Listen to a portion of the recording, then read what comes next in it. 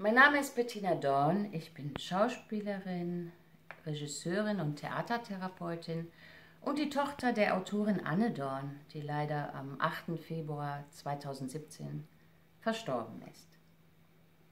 Äh, ich lese einen Ausschnitt aus ihrem Text Verlust, ein Essay zum 3. März 2009.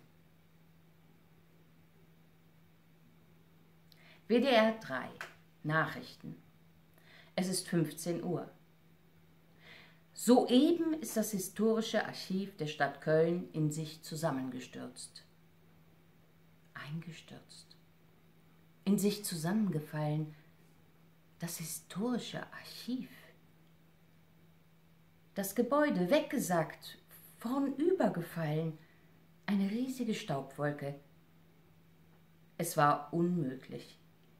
Das historische Archiv war in sich zusammengefallen. Es rauschte in meinen beiden Ohren, und da war wieder der Druck auf meiner Brust, der mir die Luft abdrückte. Das Gefühl, nicht mehr wirklich dabei zu sein. Am Abend sah ich auf dem Fernsehbildschirm dieses Loch in der Häuserreihe, nicht ganz präzise gezielt, weil links und rechts noch in die Nachbarschaft gegriffen. Stündliche Nachrichtenverbreitung. Erst neun, dann drei, dann zwei Menschen gesucht. Ein Bäckerlehrling und ein Student. Zwei Gesichter, so junge Menschen. Daran hielt ich mich fest. Nein, ich hielt mich bei den beiden auf. Ich habe sieben Enkelkinder, und da waren zwei wie meine Enkel, ganz tief unter Schutt begraben. Unvorstellbar, aber eben Wirklichkeit. Ich hatte Schüttelfrost. Die Anwohner der Nachbarhäuser des historischen Archivs unter Schock. Ihr Hab und Gut war verloren. Ich kannte das aus meiner Jugend, diese schamlos zur Schau gestellten Innenseiten von Wohnungen. Ein Stuhl an der Wand, von der ein Fetzen Tapete herunterhängt.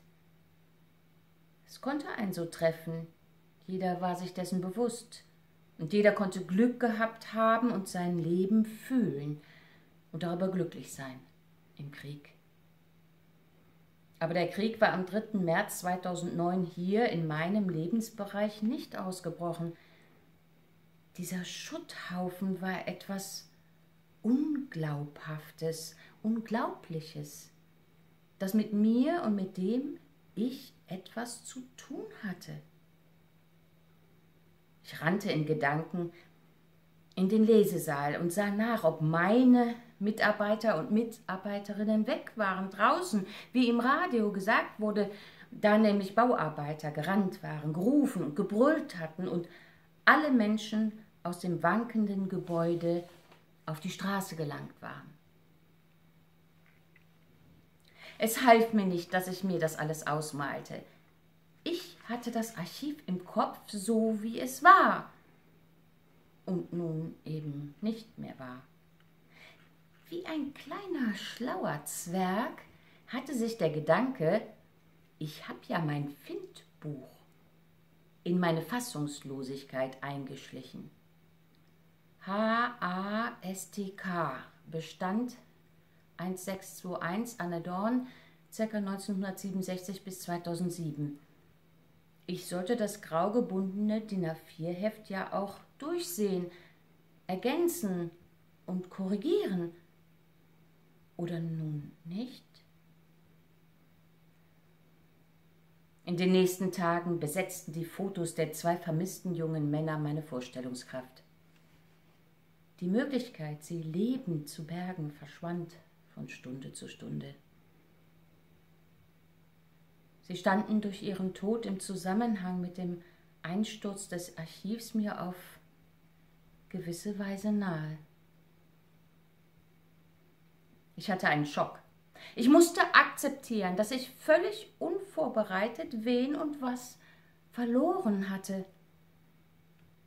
Wenn meine Kinder fragten, was denn alles?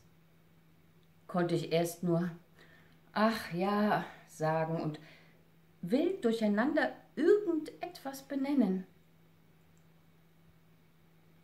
Am schlimmsten ist der Verlust von den mit Absicht zurückgehaltenen Manuskripten, ins Archiv gegeben als Anfang für irgendwann, weil damit an eine weitere Tür geklopft war, hinter die ich schauen wollte und immer noch will.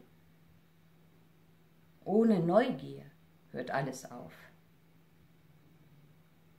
Mein Humus ist weg.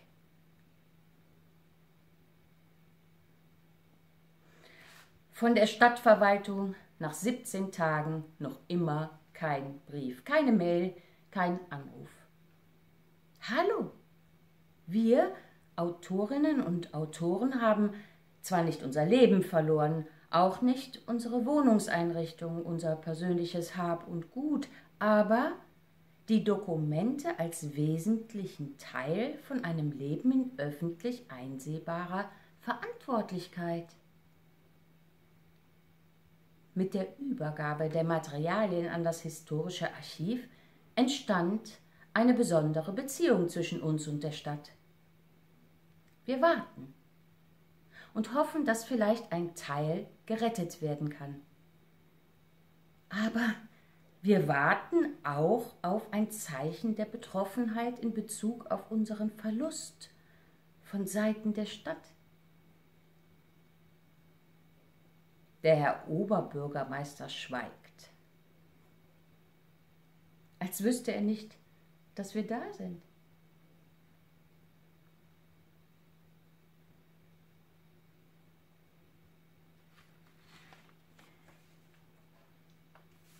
Gott sei Dank sind viele Manuskripte wieder im historischen Archiv einzusehen.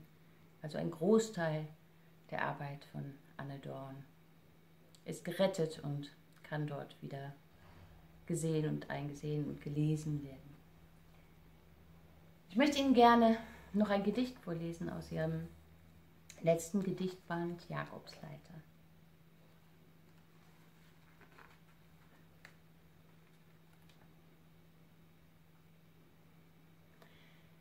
Schöne, wilde Welt.